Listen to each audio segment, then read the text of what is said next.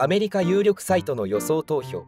大谷翔平が満票 MVP アメリカのスポーツサイト。ジアスレチックは29日。MLB の各賞の予想結果を発表。ア・リーグの MVP にエンゼルスの大谷翔平を満票で選出した。また同サイトのエンゼルス担当ブラム記者は接戦になるはずがない。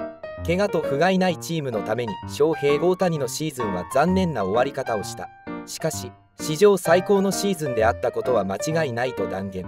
カブス担当のシャルマ記者は簡単な決断だといえば野球分析を専門とするサリス記者は投げて打つからではない。今季の大谷は打撃だけでも2位の選手よりもふさわしいだろうと説明した。化け物レベルの成績。ダントツのホームラン王で打率も3割超えてるし OPS トップだからな。投手成績入れずに DH 戦でも普通に MVP ジャッジやシーガーは長期離脱したしロドリゲスも OPS が大谷に全く及ばない。ショートという守備の貢献度でシーガーへ多少票が割れるだろうけど大谷がトップだろうな。これで投手成績も入れると誰も相手にならん。日本人誇らしい。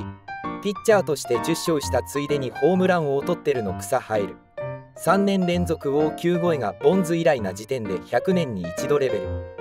こういうのもういいからそろそろプレーオフに出て伝説級の活躍してほしい。大谷は MVP インタビューでむちゃくちゃ今後のこと聞かれるだろうな。これでさっさとポンコツチームから脱出できれば万々歳だな。WBC でかなり消耗したんだと思うよ。ダントツすぎる存在。故障者まみれエンゼルスはフィジカルエリートの大谷に頼りすぎた。